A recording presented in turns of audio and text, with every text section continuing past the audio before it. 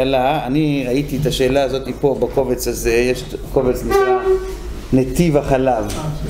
נתיב החלב זה קובץ של בד"ץ, אה, בד"ץ תנובה מהדרין, שהם אה, עושים, אה, עושים פעם בשנה, בחודש ניסן, הם עושים כינוס הלכתי ומדברים שם הרבנים. אחד הדברים היפים זה שההכשר הזה הוא משולב גם מחסידים, גם ממתנגדים וגם ממזרוחניקים. זה שילוב, זה, איך אומרים, בדור שלנו לשלב את כל, ה, את כל החוגים תחת הכשר אחד, זה מיוחד. המזרוחניקים זה, זה הרב וייטמן, הרב של תנובה, והחסידים זה בד"ץ של בלז, ואולי קצת חוג חתם סופר, והמתנגדים זה הרב מרדכי גרוס. שהוא הרב הראשי שלהם מבחינת הכשרות. זה הרב של עכשיו עם אה, זה? לא, לא, לא. לא, לא, הרב מרדכי גרוס. קהילות. כן, והוא, יש לו, יש לו הכשר משלו, הוא יהודי, הוא יהודי כאילו פלא מהלך, כאילו, כמעט לא יושן, כמעט לא אוכל, הוא סגפן גדול. הוא זוכר בצורה מדהימה מה שהוא לומד, כל דבר באותיותיו. אה, ויש לו גם לב טוב. סיפר לי איזשהו יהודי חסיד, והוא בתוך המתנגדים עצמם, הוא מתנגד חסידי כזה, כאילו לטבול במקווה כל יום. הוא שייך מאוד חזק לקברות צדיקים, קבר יוסף, קבר זה, קבר זה, תפילות וזה. הוא פרומר, הוא פרומר מאוד מאוד. הוא תלמיד של הרב אוירבך, למד בכל תורה. והיום יש לו הרבה בתי דין, גם בירושלים וגם גם בבני ברק וגם בריכוזים אחרים של... לא? לא, יש לו, הוא נקרא, הוא נקרא, אה, אני צריך להיזכר, זה לא קהילות, יש לו אה, אה, צעירים, צעירים. אני אגיד לך, כן, חניכי הישיבות. חניכי הישיבות, הוא חניכי הישיבות, בד"ץ חניכי הישיבות. עכשיו, הוא בן אדם שכאילו, כל כולו טרוירה ועיר השמיים וזה, וזה, זה הסטייל. אז הוא כאילו הרב, הרב המכשיר שלהם הראשי, ויש להם, צירפו כמה רבנים חסידיים כמו הרב אה, יעקב מאיר שטרן מווישניץ ובלז כמה וזה, והם יצרו הכשר. סתם, אז אני, אני עברתי על הקובץ, וזו דוגמה יפה שאנחנו יכולים לראות גם מה נתן לנו אדמו"ר הזקן, שזה, או הגישה של הרבי בלימוד. שאלו אותו שאלה, את הרב יעקב מאיר שטרן, הוא יושב ראש של בד"ץ מאלדן. האם מותר לנער בשבת שמנת או אשל מוצק ולעשותו נוזל כדי לשתותו? האם יש בזה שאלה של נולד? עכשיו קודם כל על מה בסיס השאלה בכלל?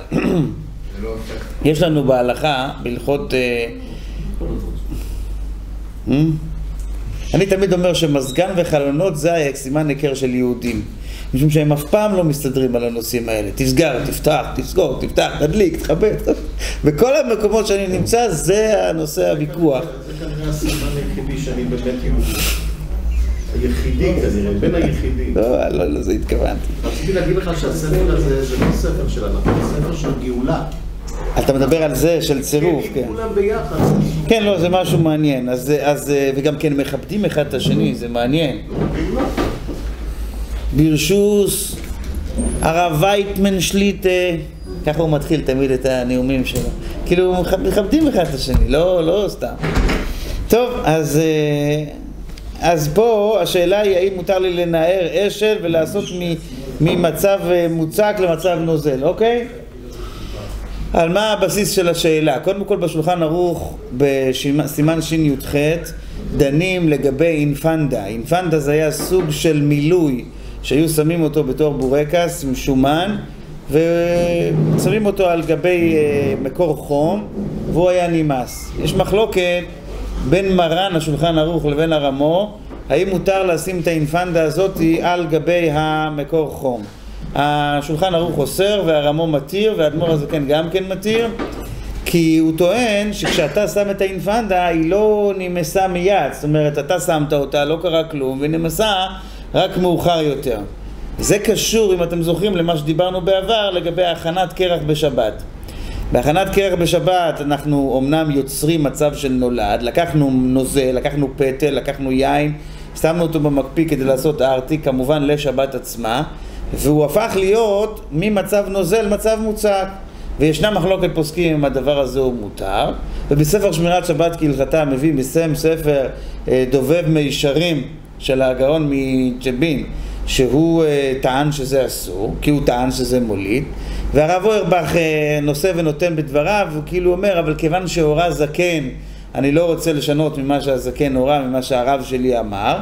למעשה, רוב ככל פוסקי האחרונים לא מקבלים את השיטה הזאת. איך אומרים, הוא, הוא גדל על ברכיו כזה, לא, הוא, הרב מצ'בין היה בירושלים, כל צורב, תלמיד חכם, הוא היה יהודי מאוד ידידותי, מאוד ענב, כאילו בסדר גודל, ברמות לא נתפסות, וגאון בסדר גודל לא נתפס, ושתבינו, גאון באיזה סדר גודל, זה שהרבי, הרבי טען באחד המכתבים שהוא רוצה לצאת נגד המנהג שיש אנשים שמכניסים מגילות בתוך, אה, בתוך, אה, בתוך בקבוקים או בכל מיני זה וטומנים אותם בהנחת אבן הפינה הרבי כותב, אבל כיוון שראיתי איזושהי תמונה באחד העיתונים איך הרב מצ'בין נמצא במעמד הנחת אבן הפינה ומכניסים שם לישיבה שלו, הרב מצ'בין בנה ישיבה בירושלים, לישיבה שלו שמו שם זה, אז אני החלטתי שאני לא יוצא. הנה תראו את הכבוד איך, איך שזה, איך שהרבי כזה. אז הרב אורבך אמר, כיוון שהזקן הרב הורה, אז אני לא, לא, לא, לא... מה, אבל יש דין של השומן הזה? אז רק רגע, אני רק אסיים... כן, אז אני רק אסיים, אני רק אסיים קודם את הסיפור, אחר כך יתברר שבאמת הרב מצ'בין לא שם את המגילה הזאת. סתם מעניין, אבל הרבי בגלל זה לא, לא יצא, לא יצא נגד זה. אז כשאני שם את הקרח, טוענים כל הפוסקים שמתירים לעשות קרח בשבת, שמתירים לעשות ארטיק בשבת. כשאתה שם אותו במקרר, לא קרה שום דבר כשאתה שמת אותו. באותה שנייה שאתה שמת לא קרה כלום.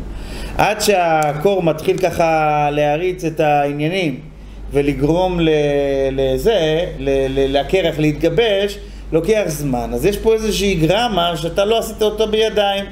ולכן לטענתם זה מותר, וככה למעשה נראה לומר, היותר מסתבר שזה מותר. על דרך זה, זה האינפנדה, שאנחנו אומרים, אותו שומן ששמים אותו על החום, אומר הרמו, מותר לך לשים, אומר האדמו"ר הזקן, מותר לך לשים אותו אה, בתור הזה, כי, כי, כי עד שאתה, עד שאתה. אתה, זה לא קורה מיד, זה עניין של שלבים, אז, אז על, אותו, על אותו בסיס... גם בישול לא קורה מיד. כן. אבל אני גם זוכר שהקרח, אסור להוציא את הקרח. אסור מה שאני לא... כן, לא. כן, נכון. זה, זה הלכה נכונה בפני עצמה.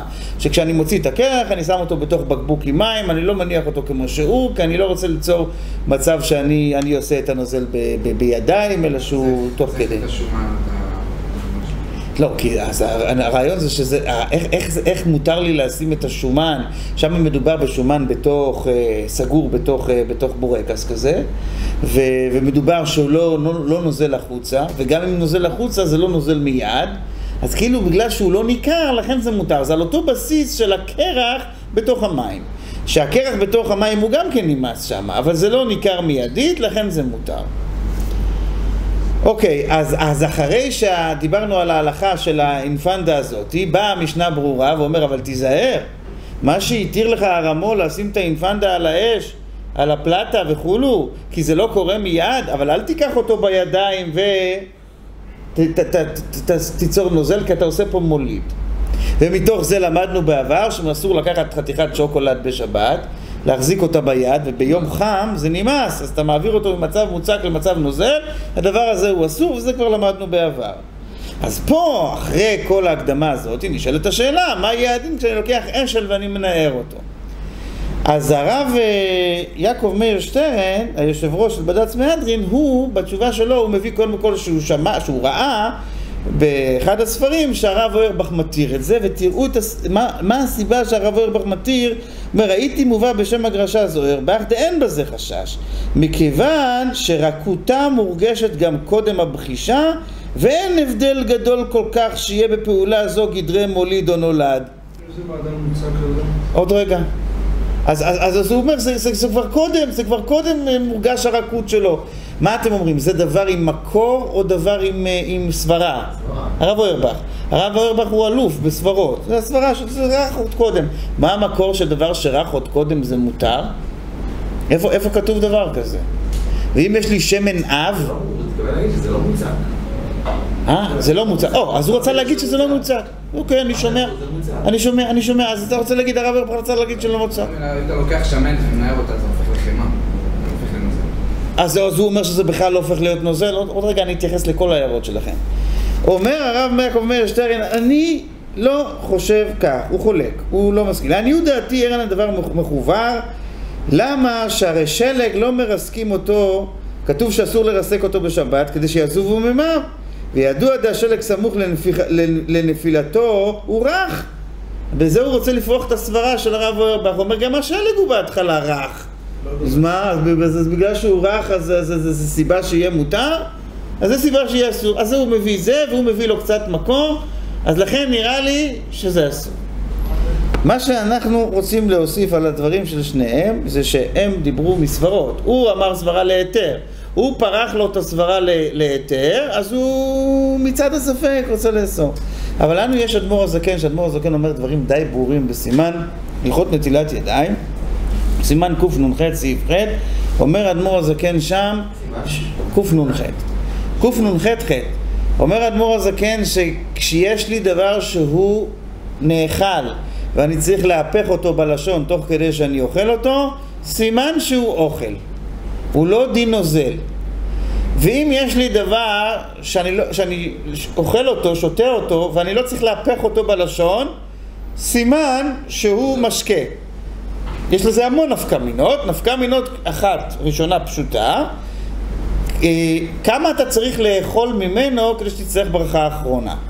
אם אני אגיד שהוא אוכל, אז אתה צריך לאכול כזית כדי שיהיה לך ברכה של בורא נפשות. אם אני אגיד שהוא משקה, אז אתה צריך שיהיה לך רביעית. זה פשוט שתי, שתי סוגים של זה. ויש עוד, עוד ועוד נפקא מינות, או למשל יום כיפור, דין אכילה, דין שתייה וכן הלאה. זה נפקא מינה גדולה. הרב, מה זה איך אתה מגדיר מהפך בלשון? שאתה צריך להשתמש, תנסה לדמיין כאילו הלשון לא עובדת, רחמנא ליצלן, כן? נגיד שהלשון לא עובדת, האם זה... אתה יכול לקחת בקבוק, כוס מים אתה שותה, זה, זה, זה מתגלץ'. עם לשון, בלי לשון, לא, הלשון לא משחקת פה תפקיד מעבר לטעם. גלידה אבל לא פה. הגלידה אתה צריך לעשות משהו, אז גם שמנת אתה צריך לעשות משהו. אז האדמו"ר הזקן יש לנו הגדרה נורא נורא ברורה, שלכאורה פותרת גם את הבעיה שלנו. אה? אשל דינו שתייה או כאילו? לא, אז זהו, אני אגיד לכם, מאז שאני, שאני לימדתי את ההלכות האלה בכל מיני מקומות בארץ, תמיד הייתי שואל את האנשים, תגידו אתם, אשל מהו? לא רציתי לפסוק, כי ראיתי שתמיד מתווכחים איתי. אז, אז, אז, אז האשל, אני חושב שזה תלוי כמה ניירת אותו, זה מאוד מאוד אם תלוי. אתה לא ב- מערבב, אז אתה צריך לאכול אותו, אם אתה מערבב, אתה שותה אותו, זה כאילו משתנה ככה. לא, אבל כן. אתה יכול עם כפית לפה, אתה הרעיון. יכול להביע לשון. זה אה? גם כשאתה עושה עם כפית לפה, אתה בונה. אתה לא צריך לעשות עם הלשון, לבנוע אשת. זהו, זו השאלה, איך איך הם מגדירים באמת שזה ככה? כן, גם כדור, שנקרא. גם כדור רפואי מוצק אתה יכול לבלוע בלי. זה לא נקרא, זה לא ראייה לכלום. זה לא ראייה לא- לכלום. זה לא ראייה, בדיוק ככה. זה לא. כל מה שאתה יכול לבלוע זה אומר שזה נוזל. טוב, אני, אני חושב למעשה, מי שינער מאוד חזק את האשל, נראה לי, נראה לי, אם לא תתווכחו איתי, שהוא משקה, הפך להיות משקה. אותו דבר השמנת, אם תעשה לה עבודה קשה, אז, אז היא תהיה... כן, זה הופך ממש לחלום. וזה באמת יהיה דבר שהוא אסור. וזה בכלל לא משנה אם הוא היה רך קודם, מה שטען הרב אוירבך, או לא היה רך קודם. כי אין הגדרה כזאת של רך, לא רך, זה, זה דברים שהוא אמר מדיליי, אה? של אדמו"ר הזקן, הוא מדייק את זה מתוספתא ומזה ומזה, זה כאילו, האמת אני אגיד לך, היום, היום, התחדש לי חידוש מופלא, בפשט, שתפסתי את הראש שלי ושאלתי את עצמי איפה אני נמצא, אני ער או אני ישן. בהלכות ברכת כהנים, האדמו"ר הזקן אומר שם משהו מדהים, שזה כת- כתוב בתוך המילים, זה, אין, אין עם מי להתווכח על זה בכלל, אין על מה להתווכח. האדמו"ר הזקן אומר שאם יש לך כהן אחד, והכהן הזה הוא עצמו החזן, הוא עצמו החזן. אז אומר האדמו"ר הזקן, איך הוא צריך לעשות? מישהו, מישהו, מישהו יביא לי את, ה, את, ה, את השולחן ערוך, פה יש חלק הראשון. פלא פלאות, תאמינו לי, אף אחד לא עושה את זה. אבל אני לא מצאתי לזה שום פרחה. צריך לקפוץ ולברך. לקפוץ ולברך? תראה מה אומר האדמו"ר הזקן שהוא צריך לעשות. וזה סימן קכ"ח, סעיף ל"ב, פלא פלאות. אומר האדמו"ר הזקן, וכן שליח ציבור שהוא כהן, אפילו אין שם כהנים אחרים, לא יישא כפיו, זה סעיף, אז לאט לאט, שלב שלב, השלב הראשון עדיין אין את החידוש. לא יישא כפיו מפני הטירוף, שמא לא יוכל לחזור לתפילתו. זה משנה. לדעת לכוון ולהתחיל בשים שלום, שדעתו מטורפת מאימת הציבור. ואם הוא מובטח בעצמו, אם הכהן מובטח בעצמו שהוא גם, שהוא נושא כפיו וחוזר לתפילתו בלא טירוף דעתו, אם אין שם כהן אלא הוא, יישא כפיו כדי שלא תתבטל נשיאת כפיים. וכיצד יעשה? מדבר איתך עכשיו על כהן יחיד, איך הוא יעשה? יעקור רגליו מעט בעבודה, לעמוד לדוכן, מזיז קצת את הרגליים. ויאמר עד ברכת כהנים. יאמר, השליח ציבור, אומר עד ברכת כהנים. שכל כהן שאין עוקר רגליו בעבודה לעלות לדוכן, למה הוא צריך לעקור קצת את הרגליים? משום שאם הוא לא עוקר את הרגליו בעבודה, שוב אינו עולה. וכשיגיע לברכת כהנים, יעקור ממקומו לגמרי, ויעלה לדוכן. מי? הכהן החזק. ויברך ברכת כהנים, ויהיה אחר מקרה אותו ברכת כהנים, אבל לא יקרא לו כהנים. האחר הזה לא יקרא לו כהנים. או כהן, שאין קוראים אלא לשניים, כמו שכתוב למעלה. ולכן, לא יאמר המקרה אלוקינו ואלוקי אבותינו ברכנו בברכה המשולשת בתורה. המקרה, לא יגיד. שכיוון שאינו קורא כהנים בבקשה זו כי יש לו רק כהן אחד, אז מי, מי יקרא את זה? יהיה רק... אז, אז, אין עניין, אין עניין להמקרה. המקרה לא אומר את זה. אלא מי יגיד את זה? אלא יאמרנה השליח ציבור. השליח ציבור. כמו שאומרים בכל הימים שאין בהם נשיאת כפיים. השליח ציבור הכהן מוריד את הנעליים לפני התפילה, עומד לתיבה, מגיע לאלוקינו ואלוקי אבותינו, אומר אלוקינו ואלוקי אבותינו ברכנו בברכה המשולשת בתורה, בקול, כמו שאומרים כל פעם, בקול, ברכנו בברכה המשולשת בתורה הכתובה על ידי משה עבד אהרון ופי עד כהנים, עוזב, עולה לבמה, ואחד מקריא אותו. מה לא עושים בפועל? כאילו, מה לא רואים שעושים? לא רואים ש... הוא לא אומר אלוקינו ואלוקי אבותינו בקול. לא. לא, מדבר איתך על כהן שהוא לבד. לא? שבקשה זו, ובוורט חזק מאוד, שבקשה זו מכלל התפילה, שלכן איננה חשובה הפסק. איזה חידוש יוצא פה מאדמו"ר הזקן? לא בסיפור של הכהן. אתה שליח ציבור, יש כהן, כהן אחד. מה עם האלוקינו ואלוקי אבותינו? אומר אדמו"ר הזקן זה חלק מהשמונה עשרה. אתה לא יכול להשמיט את זה. שים לב, אפילו הכהן שהוא שליח ציבור, והוא עצמו צריך לברך. הוא יגיד אלוקינו ואלוקי אבותינו. איך? בקול או בשקט? בקול. אז אתה, כשאתה שליח ציבור, מה אתה צריך לעשות? ויש לך כהן אחד, אתה צריך להגיד את זה בקול. עכשיו, החידוש הוא באדמו"ר הזקן. הלבוש כבר כותב את זה. ככה הוא כותב. למרות שזה רבים. אה, אתה לא אומר את המילה כהנים, כשאתה מגיע לכהנים אתה עוצר, אתה לא אומר, אבל אתה אלוקינו אלוקינו ברכנו בברכה המשולשת בתורה הכתובה על ידי משה עבדיך אהרון ובניו, זהו. כהנים אתה לא קורא, זה הלכה מפורשת. לא כהן ולא כהנים. אבל להגיד את זה בקול אתה צריך. עכשיו, מה החידוש באדמו"ר הזקן? כי הלבוש כותב את זה בפשיטות, הוא אומר. כשיש כהן אחד, ברור שאומרים אלוקינו ואלוקי אבותינו. אבל הוא אומר, יגיד את זה החזן בלחש.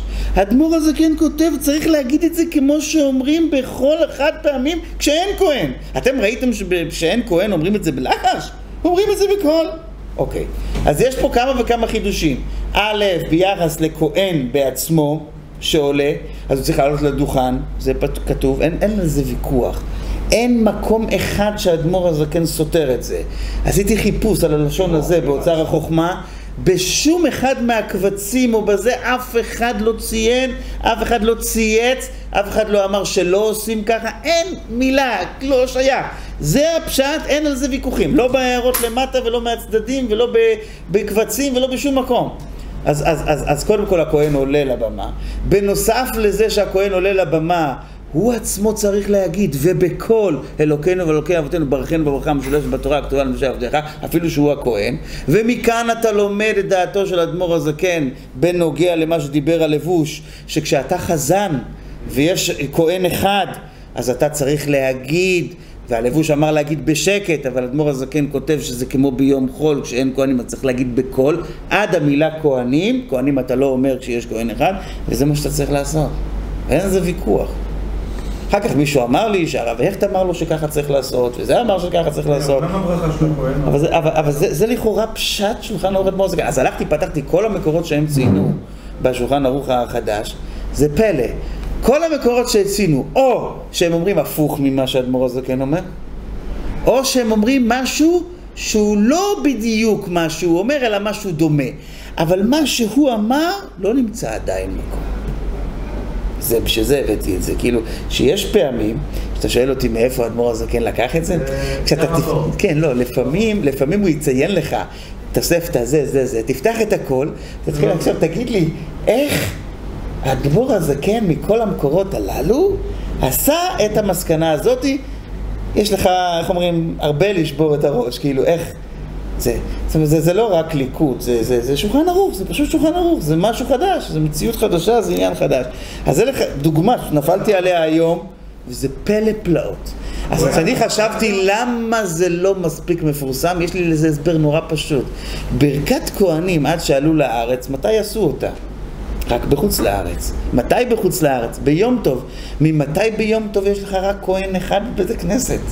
כאילו ההלכה הזאת כמעט לא הייתה באה לידי ביטוי, אז בגלל זה לא, לא חיים אותה. אבל כשפה למשל, שבהרבה קהילות חב"דיות מקובל שעושים גם בשבתות, אז בשבת זה יכול להיות שיש לך איזה בית כנסת ורק כהן אחד בדיוק. יש לו יורצייט, הוא לומד חזן. או ויש לו יורצת והוא עומד חזן, כן, זה יכול להיות, כן, כן, זה, זה גם, זה יכול להיות, יכול להיות, ופה אומר לך אדמו"ר הזקן בצורה חדה, בלי פלסף ובלי דקדוקי לשון ובלי זה, פשוט קלורון דייטליך, הוא אומר לך מה, איך עושים ברכת כהנים, ואין על זה חולק, זאת אומרת, אתה לא מוצא שאצלנו המנהג היה אחרת, או שהרבה פעם אמר אחרת, או שצריך, לא, לא, לא, לא היה אף פעם משהו של הלא. וזה, איך אומרים, לא מספיק מפורסם, אז הנה פרסמנו את זה עכשיו. ניתן מהדרבש שאומר שהוא היה רוצה לפעול שיגידו בכל יום. סימן. זה סימן קכ"ח, סעיף ל"ב. אני אגיד לך איך התעוררתי לזה. יש איזה יהודי תלמיד חכם, שהוא יהודי גאוני, וכמו שאמרתי, הוא כמו התאום של הרב מרדכי גרוס. הוא זוכר כל מה שהוא למד, הוא אמנם בעל הבית, הוא עובד לפרנסתו, אבל אין מילה בתורה שהוא למד, הוא לא זוכר. אתם יודעים כמה פעמים אני חזרתי על סימן קכ"ח? מישיבקטנה עד היום? לא שמתי לב לזה.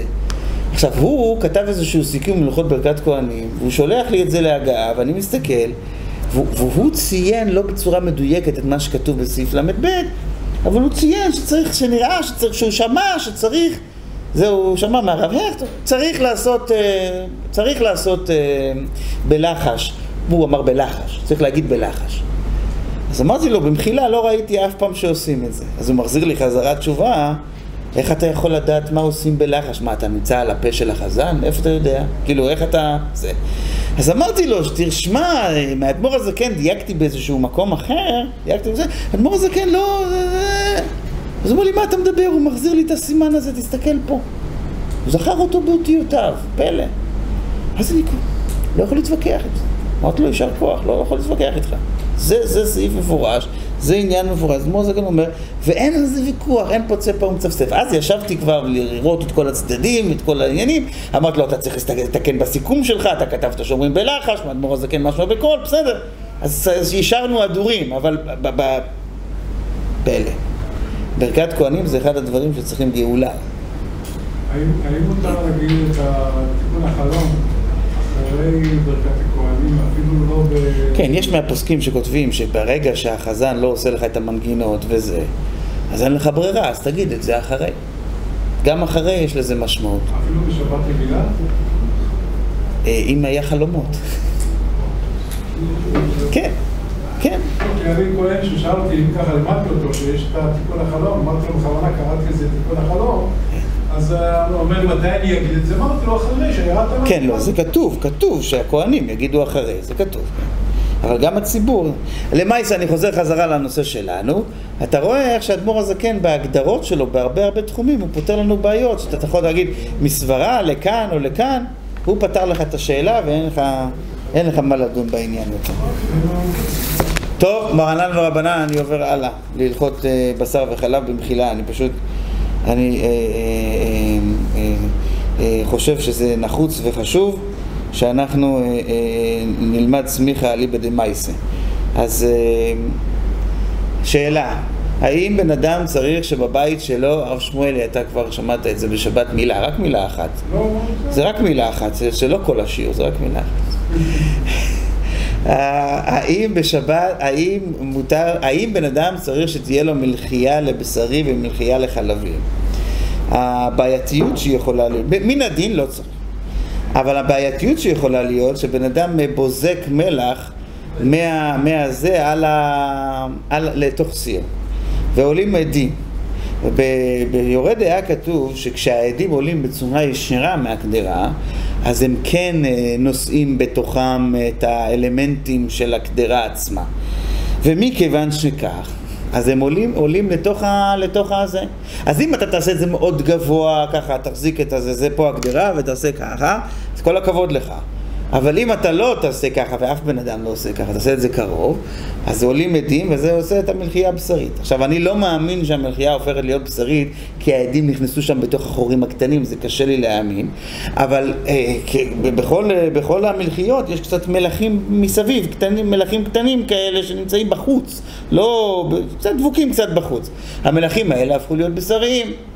עכשיו, אם תגידו לי אם זה בעיה גדולה, זה לא בעיה גדולה. אנחנו דיברנו ואנחנו עוד נדבר על השיעור הזה. מה קורה כשאתה היית בכולל ואנשים עשו כוס קפה עם חלב ושמו שם תה וזה וזה, אז סיכמנו שעם זה אין בעיה, כי אתה לא מתכוון לבטל את החלב. לכאורה גם כאן אני לא מתכוון לבטל את המלח ולכן זה צריך להיות מותר. אבל אתם שואלים אותי אם לכתחילה לא כדאי שיהיה מלחייה בשרית חלבית בגלל זה? כדאי.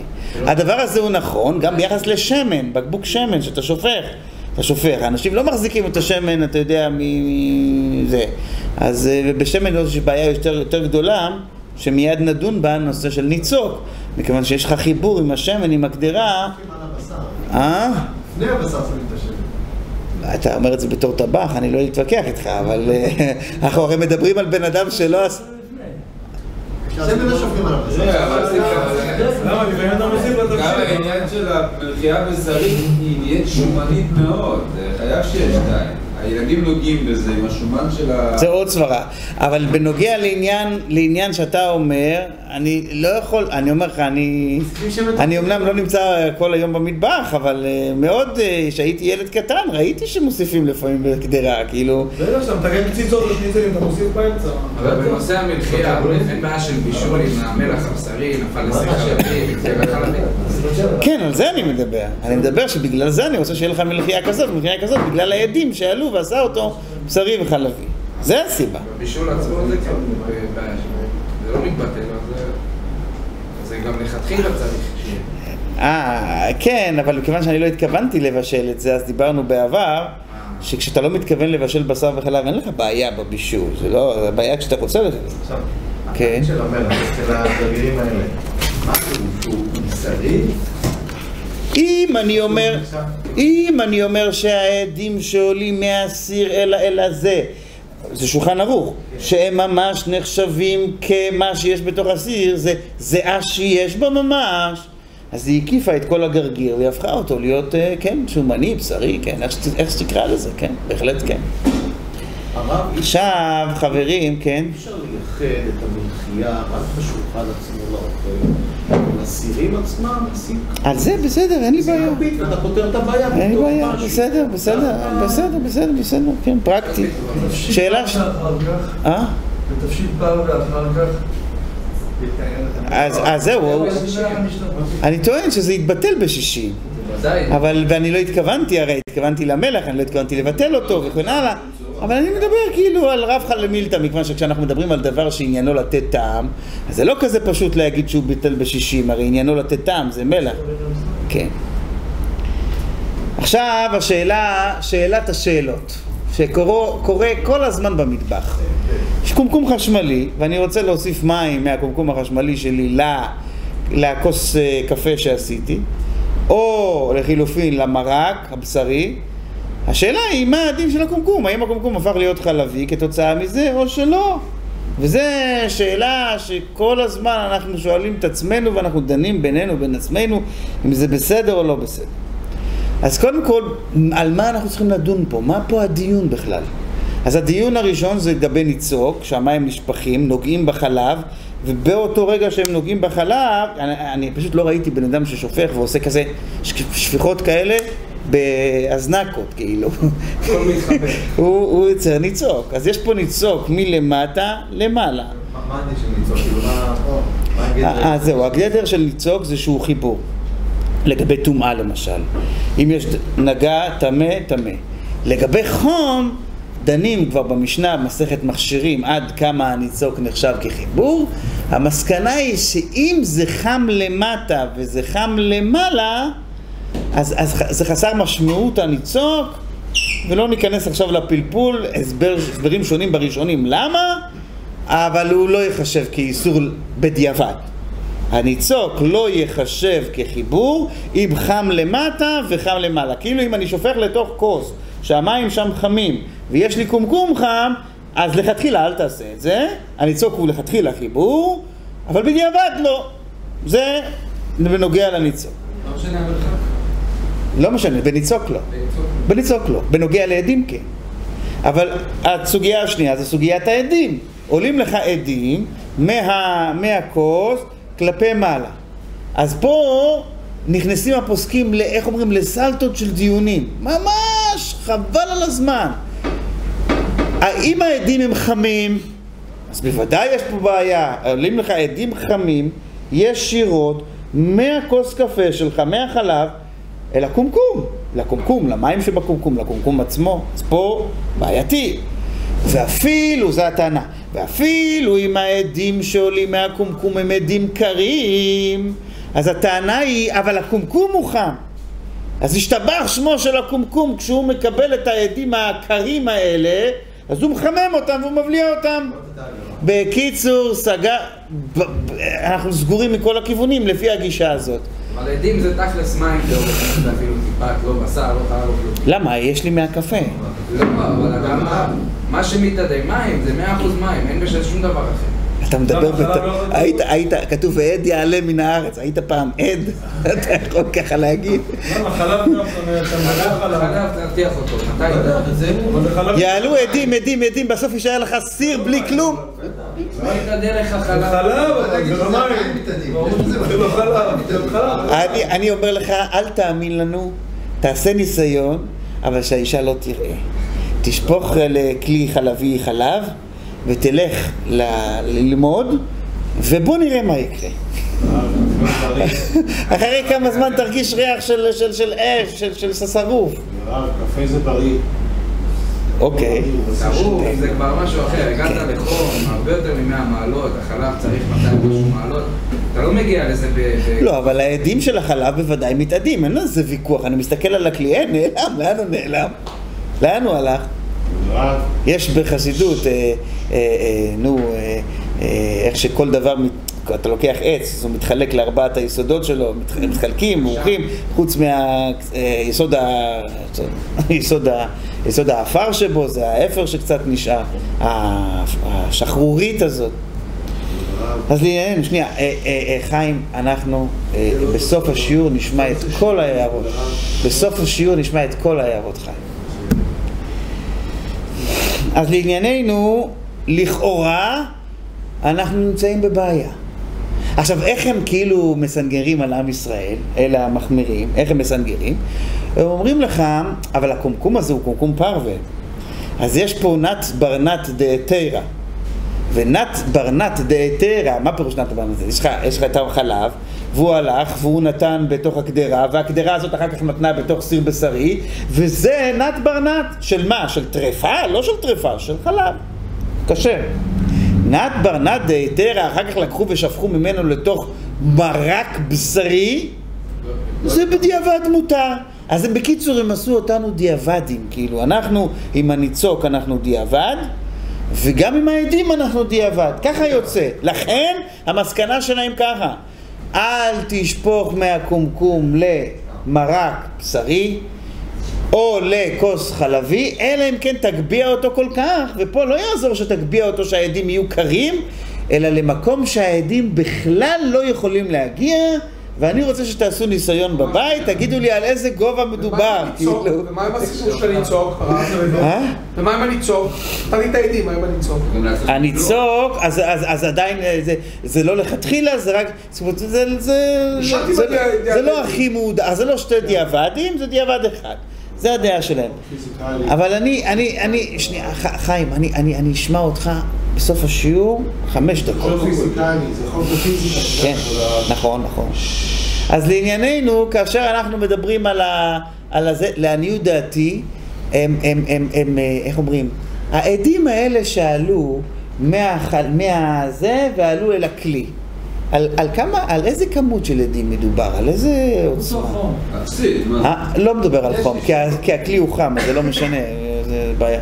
איזה כמות מדבר? כמות אפסית לחלוטין. למה, למה בכוס קפה עם הסוכר אנחנו מתירים את זה? למה בכוס קפה שנשפך כמה טיפות של זה, אנחנו אומרים אתה יכול לקחת ולערבב ולבטל אותו בשישים, כי אתה לא התכוונת לעשות את זה. הכמות היא אפסית לחלוטין. בפרט שמדובר על כוס קפה עם חלב, שלא כולו היה חלב, בדרך כלל זה היה רק מזערי. והעדים שעלו ממנו, מדובר על אלפית הטיפה או אפילו פחות מזה. וזה אתה רוצה שיאסור? וזה אתה רוצה שיאסור אחר כך את הדבר השני? זה מאוד מאוד רחוק מהמציאות. אני אה, יש מתייחס... עבודה של בישול גם. מי ש... מי ש... פה אין, זה זה לא מתבטא. לא, אבל אנחנו התכוונו שאנחנו לא, לא, לא, מת- אני לא צריך את הבישול הזה. כל פעם שאתה לא מתכוון, אחרת אני לא יכול, דיברנו על זה שבוע שעבר בשיעור, אחרת אתה לא יכול להכניס למכונת כביסה חולצה שנפל לך קצת גבינה עליה וקצת בשר עליה. אתה עושה הרתחה שם, כי אתה לא צריך את זה. אתה לא מתכוון למשל, אתה מתכוון לנקות. אז זה לא, זה לא, זה לא, זה לא הנידון. טוב, למעשה אני חושב ש, שאפשר ללמד זכות גדולה על עם ישראל בנושא הזה. אני לא חושב שזה כזה חמור כמו שהם עושים את זה. לגבי פסח זה בוודאי בעייתי, חמץ וזה, אל תשתמש בקומקום, זה אני יכול להבין. אבל בנוגע לבשר וחלב זה די, די, די, די חומרה. מי שמקל בזה לחלוטין זה הרב אוירבך. והרב מנשה קליין, בעל המשנה ההלכות. הם המקלים הגדולים בזה. אה, הרב אלישיב, הם יתירו גם תמי ארבע? כן. ההבדל? כן? אה, בפסח זה, אף אחד לא רוצה להיכנס עם פסח לזה. אתה מדבר רק על שבוע ימים, יגידו לך, תסתדר עם, אה, עם אה, איך אומרים, עם, עם תרמוס או זה, ולא, ולא זה. אבל, אבל מדבר איתך על כל השנה, כי זה אחרת, כן. מה לגבי מלחם שלפעמים החמים, צריך עוד קצת מים, אני שם ממש אה, לפעמים ככה מיטה. בסדר, אז זה בדיוק השאלה. זה לא בערך, אלא בדיוק. שאלה ששואל הרב ליאור, זה בדיוק אותה שאלה. הוא שואל, מה יהיה עם הצ'ונט? כן? הרב פוקס כותב. נכון, הרב פוקש כותב. הרב פוקש כותב, נכון. כן. שאלת הרב עמוס. כן. תשמע, אבל אפשר להסתכל על זה כי מה היחס בין הסיר ג'ון למים שיש בקומקום, זה כאילו הופך להיות תבשיל אחד בעצם בנשיקה. בעצם כל המים האלה הופכים להיות בשריים. כי זה כאילו הרבבתי את המים האלה לגמרי בתוך הסיר והוצאתי אותם. איזה, איפה? המים בקומקום, שאני יוצק אותם בסיר חמים. אז כאילו כל המים שיש בקומקום ובסיר הופכים להיות ביחד אותו תבשיל. אבל זה מה שאמרנו זה לא עכשיו לא, זה דין של... זה בטל בשישי, ואני לא התכוונתי לבטל אותו. זה כמו שאני עכשיו אוסיף כוס מים לתוך הסיר, ואז יוציא אותה. למה? זה כאילו מה שאני חושב ביציקה. למה? למה? כי אם יצקתי, אז חיברתי את המים שפה עם ה... אז זהו, אז אני רוצה להגיד, הניצוק.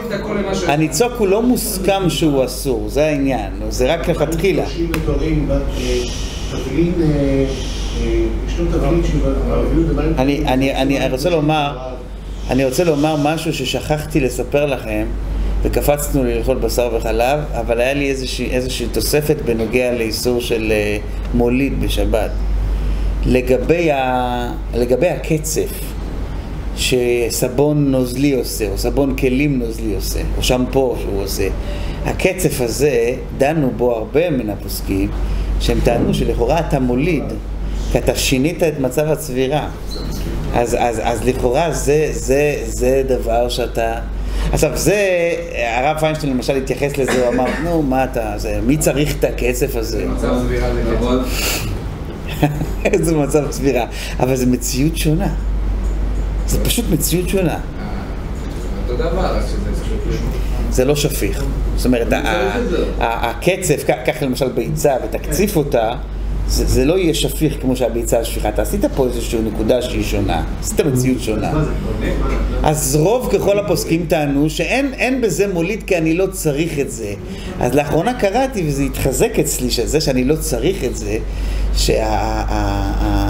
שהמדענים אומרים שזה שיש קצף בתוך השמפו, זה ש... אין, אין בקצף שום מרכיב שקשור לניקיון הגוף או הראש. הכל דאוויני. זה, זה, זה כל הסיבה שהם עשו קצף, זה מכיוון שזה היה, זה היה משהו שיווקי, שאתה תרגיש שיורד ממך משהו, ואז אתה תרגיש שהיה ניקיון. זה מין תחושת טהרה כזאת.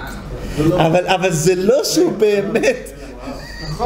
לא, זה רק חיזק אצלי את הסברה של המתירים, כאילו. כשאתה שוטף כלים, אתה רואה את הקצב, זה זה גם נהיה גם יותר מוחשי, שאתה רואה קצב. אתה נכון, אתה ולמה? מרגיש כאילו אתה מנקה, ככה אם לא אתה מנקה את זה באופן... הרב, נכון, וזה למה? צודק, למה? יש, יש בנפש איזה, איזה תחושה. לא, זה כמו שאתה אומר, אני הולך לקנות פרישידר. אבל זה אמקור, זה לא פרישידר. אז למה פרישידר? כי זה אצלנו מקובל.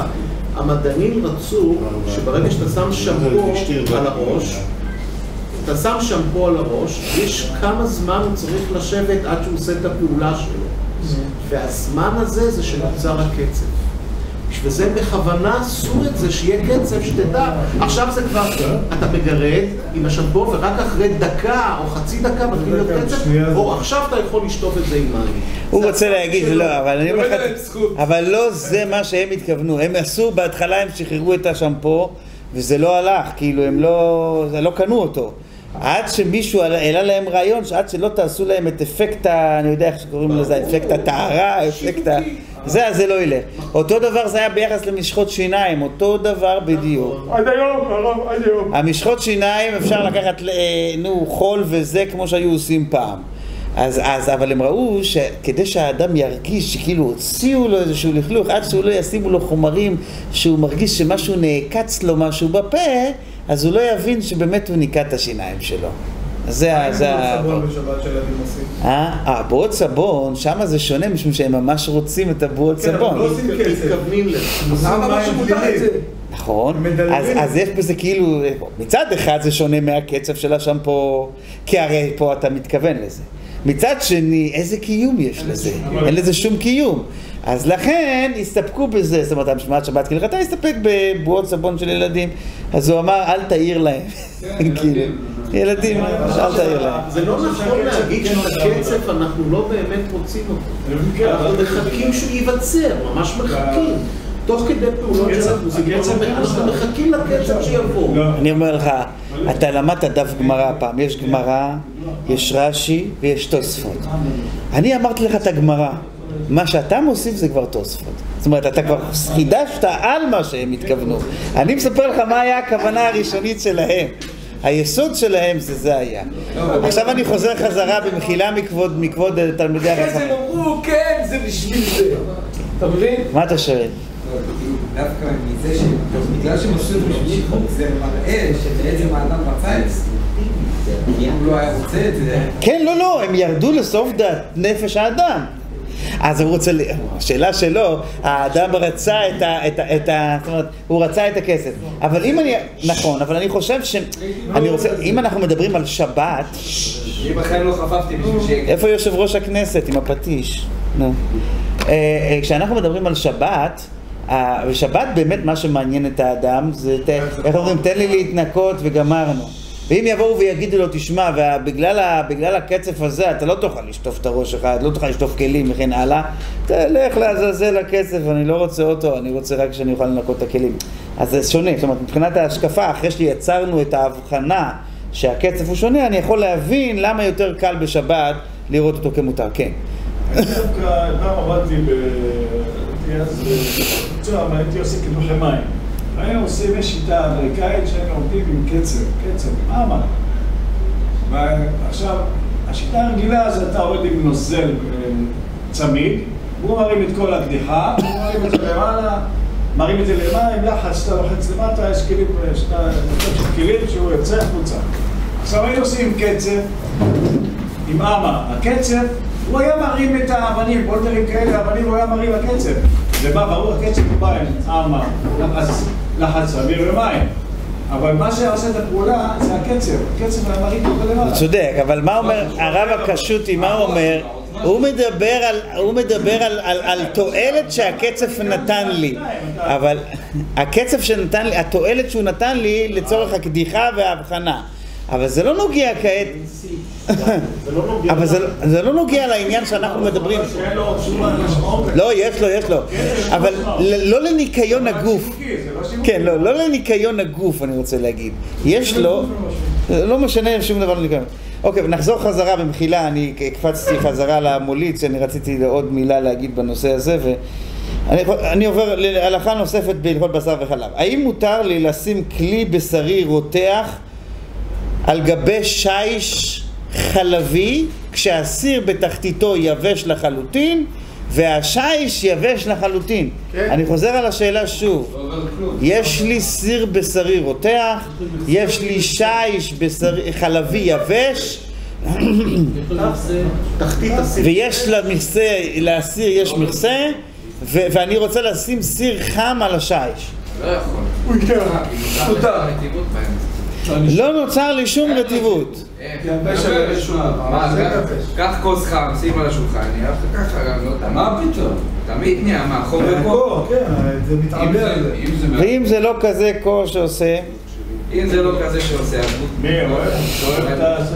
קודם כל, אה, אה, יסוד ראשון. כשיש לי שני סירים, כותב הרמו בסימן צדיק ב' סעיף ח', כשיש לי שני סירים, אחד חלבי רותח, אחד בשרי רותח, ושניהם יבשים בחוץ, ואני מקריב אותם אחד ליד השני, כותב הרמו שלכתחילה אל תעשה את זה, אבל בדיעבד לא זז כלום. מה הסיבה שלכתחילה, לא תעשה? אז אה, מסביר החתם סופר שכשיש לך דבר יבש, קשה, קשה להוציא ממנו וקשה להעביר לדבר השני. החוות דעת מסביר שמכיוון שיש אוויר, אוויר, אתה לא יכול להדביק אותם עד הסוף, תמיד יהיה איזשהו אוויר ביניהם, האוויר ביניהם גורם שלא יעבור מאחד לשני, על כל פנים לא ברמה כזאת שאנחנו נאסור. כדי שיעבור לפי זה, כדי שזה יהיה אסור, צריך שתהיה לחות בין הסיר לבין ה... השאלה היא על איזה לחות מדובר. אז החוות דעת טוען שלחות מועטה עדיין לא מעבירה. לחות מועטה בין הסיר לשיש לא מעבירה שום דבר. לעומתו, הפרי מגדים ועוד טוענים שאפילו לחות מועטה מעבירה. מה היא מעבירה? עד כמה אני צריך לחשוש? מסכימים כל הפוסקים שגם לשיטות המחמירות אני צריך לשער רק את כמות הלחות שהייתה, לא כל השיש, כמות הלחות שהייתה ולהכפיל אותה פי 60 ואם יש לי פי 60 כנגד כמות הלחות הזאתי אז הדבר הוא תקין לחלוטין, זה בסדר גמור. אז, אז, אז, אז אנחנו מסכמים, לשים סיר יבש על שיש יבש, הסיר בשרי והשיש חלבי, אל תעשה את זה לכתחילה לפי מה שכותב הרמו. עשית את זה והיה יבש, לא נאסר. עשית את זה והיה לך, אז אם הלחות הזאת, אז לפי החוות דעת אין בעיה בכלל, אבל לפי הפרי מגדים שאנחנו בדרך כלל פוסקים כמותו, אז, אז אנחנו נכפיל 60 כנגד אותה לחות, ואם יש לך בקדרה כנגד אותה לחות, אז אין לך בעיה כלל ועיקר. בקיצור ולעניין, גם אם זה יהיה בית חב"ד בתאילנד, שיש שם 90 אחוז באוויר כל הזמן, עדיין זה לא יגיע למצב שיתקרב ל-60, בכל מקרה אין לזה משמעות, כנראה. בדיעבד. כן. כנראה בדיעבד. מה אתה שואל? למה? משום שהוא חושש שבכל זאת אולי משהו יעבור. גם בלי לחוץ. בלי החוץ. גם אם קופצים ניצוצות מסיר בשרי על סיר אחר, נגיד פרווה, זה גם משערים ב... ב- נגיד אתה מתנגן משהו ויש איזה סיר. אני חושב שדיברנו על זה שיעור שעבר. תלוי- ניצוצות? היית איתנו? הייתי, כן. אוקיי. אז. תלוי מתי, תלוי איפה, למעלה, בתוך המים, למטה. הניצוצות היו חמים או קרים? חמים, אבל קופצים מטיגון. ולסיר קר או לסיר חם? אז זה בכלל לא בעיה. משום שאנחנו אומרים שמה שקופץ לצדדים, הוא מספיק קצת- להתקרר. אם הסיר חם קצת, לא היה צולל בו, אבל... עדיין זה קר. עד ים סוללת בו הוא קר. אוקיי, אני זוכר שלימדת בפסח, העניין של הכיסוי של השי, שלא צריך להשאיר את הכיסוי, את השי עצמו, אם יש משהו ש... כי אם זה... אין אפשרות להעביר... אליהם. נכון, זה ההלכה. ויש הידור, אז, אז לכן תמיד אני אומר, תעשה, תעשה שתיים, כאילו, שיהיה לך שתי שכבות. אחרי שתי שכבות אין לך בעיה בכלל. אוקיי, עכשיו שאלה נוספת. האם צריך, ש... אז זה, זה ממש המשך ישיר לשאלה הקודמת.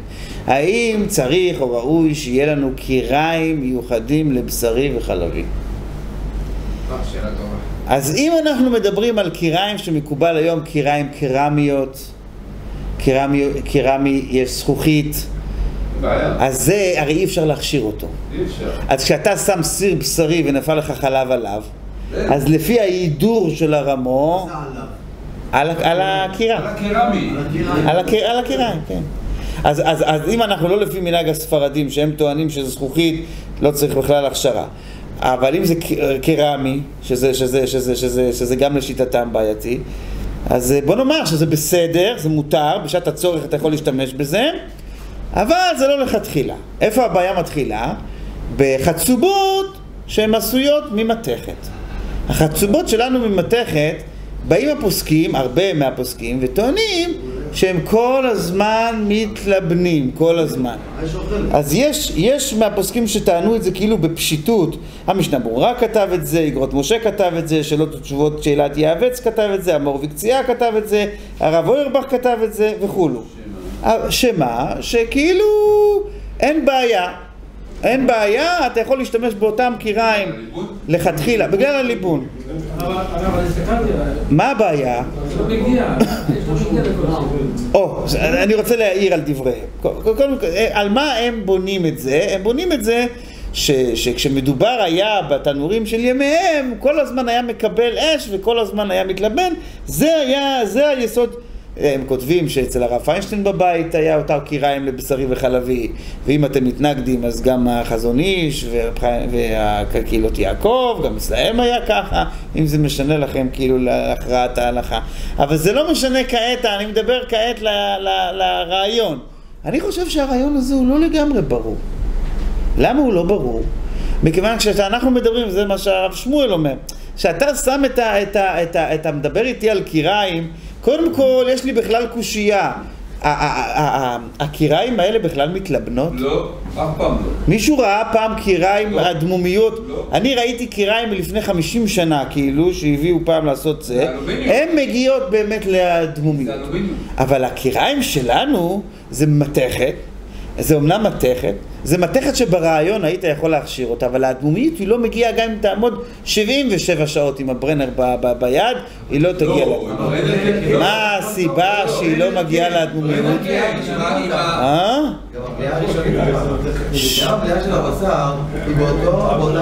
גם למה? למה? לא, בשר חם נכנס בתוכה. וכדי ללבן, אומרת לך הדלכה, ליבון חמור, אתה צריך שהוא יגיע עד שיהיה ניצוצות ניתזים ממנו. אז אני כבר ראיתי קיריים שניצוצות ניתזים מהם, אבל הקיריים החדשות, מה שנקרא החצובות החדשות של העשרים שנה האחרונות, הקיריים החדשות, הם לא... הם לא מגיעים, לא רק משל השלהבת, גם של הברנר לא. כן. אני- אני בדקתי. אני בדקתי. ברמה מסוימת, תלוי כמה אתה... לא, אני אומר לך, לא האש הזה, היה חזק, הכחולה, שיורה. לא? לא מגיע, גם אם אתה עומד 20 דקות זה לא מגיע לאדמומיות. עכשיו, גם מומחים אמרו לי שזה ככה, הוא לא מגיע לאדמומיות. ומה הסיבה? הסיבה היא מכיוון שהמתכת הזו. של הזה, היא מתכת דחוסה ברמות מאוד מאוד קשות, דוחסים את המתכת נורא נורא חזק. בימים ההם לא ידעו לייצר בכלל כלים בצורה הזאת שדוחסים מתכת נורא נורא חזק. לכן, היא לא כזו מלאה והיא כבדה. היא כבדה מפני שיש לך שם... אז יש מהטוענים. שמכיוון שאי אפשר להגיע איתה לאדמומיות, אז לא צריך להגיע לאדמומיות ממש, מספיק שתגיע לפוטנציאל שאם היא לא הייתה דחוסה, אז זה, זה, זה, יהיה, זה היה אדמומי. אבל אתם מסכימים איתי שזה כבר, זה כבר, זה כבר לקפוץ, זה כבר לקפוץ, זה כבר לקפוץ צעד שלא נאמר בהלכה. למה אתה לא אומר כבולות פולטות? בדיוק, למה לא נגיד שבוא לא כפות לו? בולעו כך פולטו הוא לא לכתחילה. הלכתחילה הוא זה שאתה ת- תביא אותו לידי ליבון, כמו שכשאתה מכשיר מים חמים, אז אתה צריך להכשיר במאה מעלות. איי, אתה קיבלת, הוא קיבל קביעה, הכלי ב-70 מעלות, 70 מעלות, אבל תוציא אותו ב-100 מעלות. כל הכבולעו כך פולטו זה דעה אחת שזה לא יהיה מוסכם על כולם. זאת אומרת, אנחנו רוצים לעשות משהו שיהיה מוסכם על כולם. אז, אז, אז לכן, לכן אני, אני מאוד מזדהה עם הדעה של הרב ווזנר בעניין הזה, שהוא טוען שבקיריים שלנו היום, אני לא יכול להגיד בפשיטות, בפשיטות, שאין שום בעיה, וזה וזה. מה? צריכים לבחור על הרמה מסוימת. אה, הוא דווקא מחמיר עם זה? הוא מחמיר, אבל מה ההסברה שלו? הוא טוען שאתה לא יכול להגיד שזה כל הזמן מתלבן, כי כדי להגיע לליבון זה, זה משהו אחר, וגם הסברה שהוא אמר. אז, כי זה לא מגיע לאותו מידת חום בכל המקומות, וכשגולש משהו אתה לא, זה לא בדיוק איפה שאתה אה, חיממת אותו. אז, אז לכן, לכן אני הייתי אומר שלכתחילה יש מקום להחמיר. אדם שמגיע לשבת לאיזשהו מקום, לא יחמיר בזה. זה מה שיש לו, זה מה שישתמש. אדם שזוג צעיר שקונה, אולי לא קנה את התנור והוא מקבל דירה מרועטת, זה מה שיש. שליח שמגיע לכל מיני מקומות וזה מה שיש, זה מה שיש. אבל אם אתם שואלים אותי, בלכתחילה יש עניין בזה שיהיה לך לחלבי ויהיה לך לבשרי, ואני מסביר את ההיגיון שעומד מאחורי הדברים. Hmm? אפשר. אפשר, אפשר, אפשר, אפשר. לא, כאילו זה- אפשר.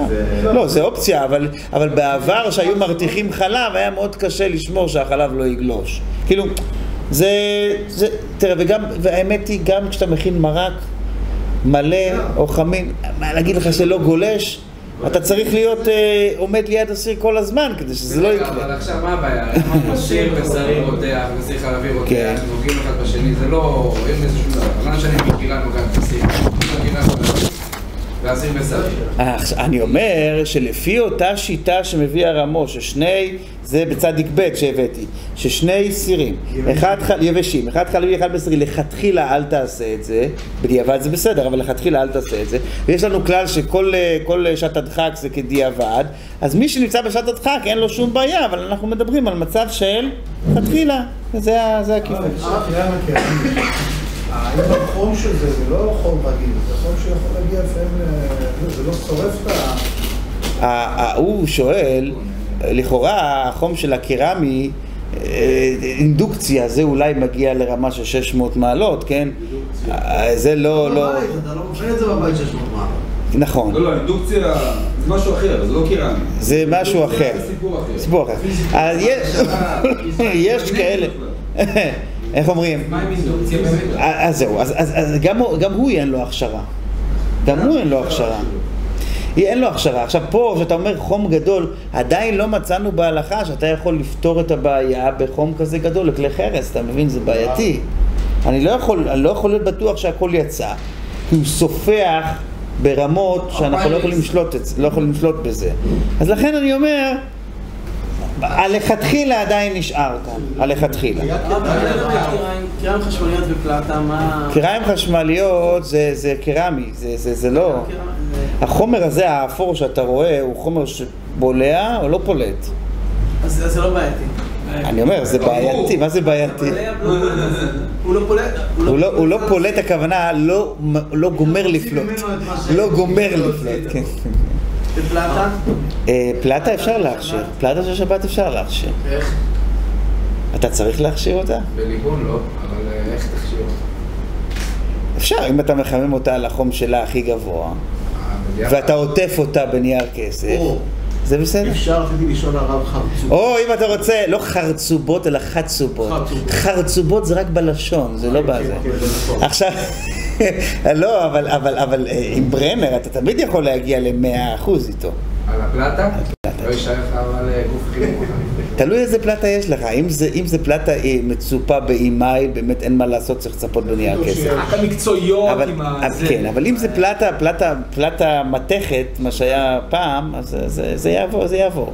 החצובות, אם אתה עוטף את אתה החצובות אתה כבר בנייר פתרת את כל כסף, הבעיה. ופעם ב- אתה מחליף, זה בעצם. ואם מלכתחילה הן חדשות או ליבנת אבל אז הירוקים יגידו שזה לא בריא. הנייר כסף עם לא האש, בדקו, נייר כסף גם בטמפרטורות גבוהות, גם באוכל, אין שום בעיה עם זה, בניגוד אה, למה שכולם. חשבו, שזה לייצר הנה סיפור. הנה, אתה רואה, אמרתי לך, יש את הירוקים, אני אסביר לך. אה.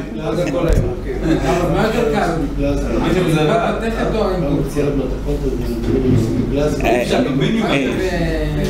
אני חושב שהמתכת אה, ניתן יותר אה, להגיע איתה לשלמות בהכשרה שלה. לשלוט בזה. יש, יש יותר צדדים ל... ל- כן.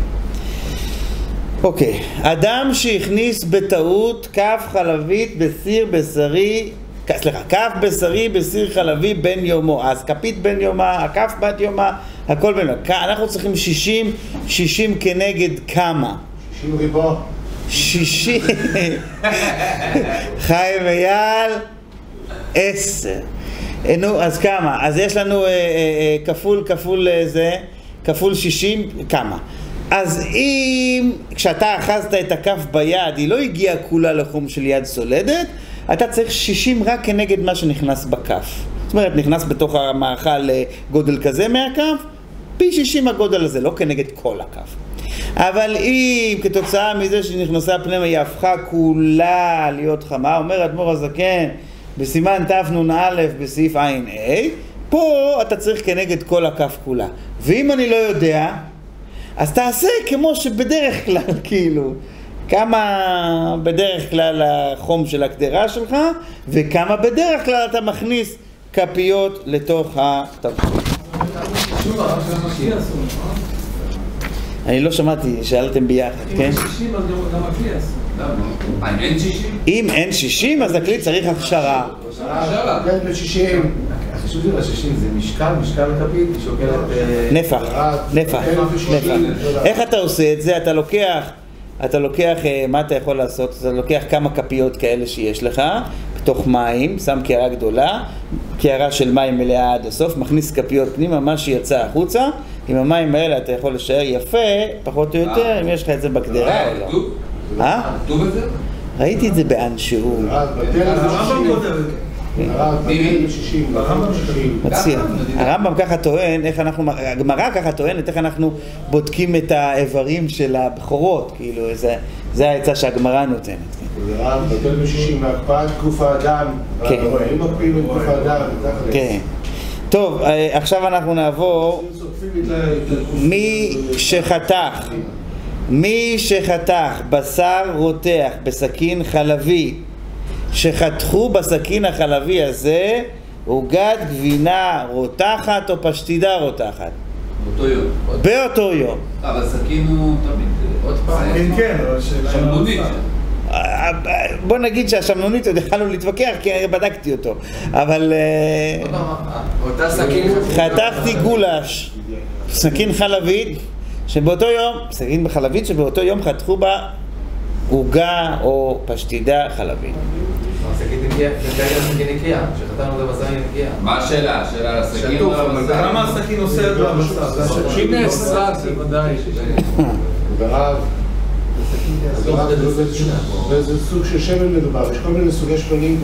קודם כל אנחנו צריכים לדעת האם החלבי הזה הוא היה בכלי ראשון או לא בוא נגיד שהוא היה בכלי ראשון, אז בסדר, אז הוא מפליט ומבליע על הסכין. אם הוא לא היה בכלי ראשון, בכלי שני, אז זה מחלוקת בין הרמול לבין הרש"ל, האם יש לי אה, בכלי שני, אה, אה, האם בדבר גוש יש לי דין כלי שני או לא, זה מחלוקת. אז יש פה ספק. אה, מה, מה עוד... אה, מה, השאלה אם הפשטידה היא מבשלת בפני עצמה או לא? הפשטידה הייתה רותחת, אז השאלה אם היא הבליעה באמת את החלב בתוך הסכין. אפילו שהיא הייתה כלי שני, אבל כלי שני הוא רותח. בגוש. בגוש, אז אני, אני, אני אחמיר. אה, בשר רותח? כן. בשר רותח? הבשר היה רותח, כן. למעשה, לכתחילה אנחנו נחמיר, כי זה ספק של בשר וחלב נחמיר. מה לקלוף? לא, אתה צריך פי 60 כנגד הסכין.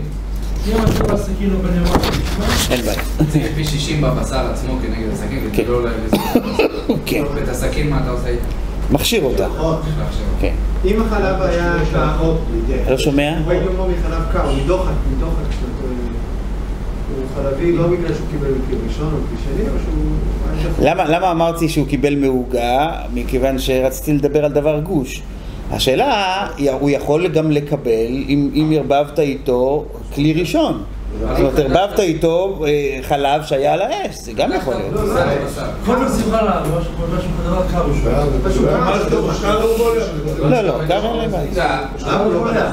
אז מאיפה יש... מה מה הוא עושה? דוח דוח כזה? דוחקא דסכינא? בקליפה. כן, אבל גם, גם זה, עד כמה הוא מפליט, מבליע, זה מדובר פה על כדי קליפה, זה כבר לא גדר, זה לא בגרמה של, אה, כאילו, של כל כן. בסכין מספיק נעיצה בקרקע, לא צריך בלבול... אה, צריך נעיצה בקרקע רק שאנחנו לא יודעים מהי הנעיצה, אז בגלל זה אנחנו עושים לו איזה ליבון קל או משהו כזה. ויש כאלה שטוענים שנייר, נייר, אה, נו, צמר פלדה חזק, זה גם אה, אה, משהו. אבל חתכת עכשיו את הפרוסת בשר. חתיכה גדולה קטנה. הכל, הכל, אתה מחשב בהכל, מכיוון שהוא קיבל, זאת אומרת, הסכין נגע בשתי הקצוות בשעה שהוא, אה, זה, אז, אז הכל פה מתחלק. הכל התחלק. הכל מתחלק לקחת בהכל. האם יש לה פעמיים או לא, זה אנחנו נדבר עוד מעט. האם היא תקבל עוד הפעם, זה תלוי, זה לא, לא, לא, זה לא ברור שזה ככה. הרב, אם לצורך העניין באותם נתונים, סכין החלבית בבשר, בשלידת בשר, לא משנה, חתיכת בשר רותח, ומיד שראיתי שעשיתי את הטעות, לקחתי סכין בשרי, לקחתי כמה סנטימטר או חצי, חתכתי וטעו פשוט זרק. זו אותה שאלה שהוא שאל, זה לא אה, משנה. זה לא משנה, זה לא משנה. זה עדיין צריך זה לא משנה, את אתה יכול לבוא אה, עם מטוס סילון ולחתוך ככה וזה, זה לא משנה שום דבר. ההלכה נשארה אותה הלכה. מצאתי מזלג חלבי בתוך מתקן לייבוש כלים בשרי. האם עליי לחשוש שישתמשו במזלג לבשרי, והאם הוא צריך עגלה? זה גם דבר מצוי, נכון? איתך לא יודע, התחלף, פתאום אתה מוצא מזלג. מזלג מה, מהחלבי מצאת בבשרי, או יותר, יותר מתאים מהבשרי בחלבי מצאת. לא, לחשוב. האם אתה צריך לחשוש או לא? לכאורה יש פה כמה ספקות, לא ספק אחד. ספק האם בכלל במזלג החלבי הזה אכלו, חם. אכלו חם. דבר שני, האם בכלל אכלו בו בשרי? זה עוד ספק. ואפילו אם אכלו בשרי חם, אבל זה בכלי שני. כלי שני לא מפליט ומבליע, אז צריך להיות דבר גוש. ואפילו אם זה יהיה דבר גוש, זה מחלוקת בין הרמון לרש"ל.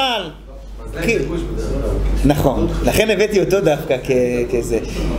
אז למעשה, למעשה, למעשה, בגלל שיש פה כמה וכמה ספקות, לא אוסרים את זה. יכול להוציא אותו, להביא אותו לחזרה, חזרה לחלבי. אבל, לבשרי, סליחה. אבל אה, אם נופל לך איזשהו ספק, אתה כבר יודע שבטוח אכלת דבר גוש. אם יהיה לך איזשהו ספק, יורד מה, מהשני ספקות, אז יהיה קשה להקל בזה. עכשיו, שאלה שהיא קצת, קצת מסובכת. בבקשה, תחזיקו ראש. ידוע שדבר חריף נותן טעם פגום. סליחה. ידוע שדבר חריף נותן טעם לשבח בדבר פגום. אוקיי? מה זאת אומרת? יש לי, יש לי, יש לי אה, דבר חריף, יש לי סכין שהשתמשתי בו לפני שנה וחתכתי איתו בצל. אז אפילו שהשתמשתי בו לפני שנה, מה שהיה בלוע בתוך הסכין יצא לבצל. אבל זה כבר נתן טעם לפגם? לא! הבצל קיבל עכשיו טעם לשבח. בג- אה, הבצל עשה אותו טעם לשבח, את הפליטה שלו עשה טעם לשבח. אוקיי? אז, אז זה, זה היסוד ההלכתי.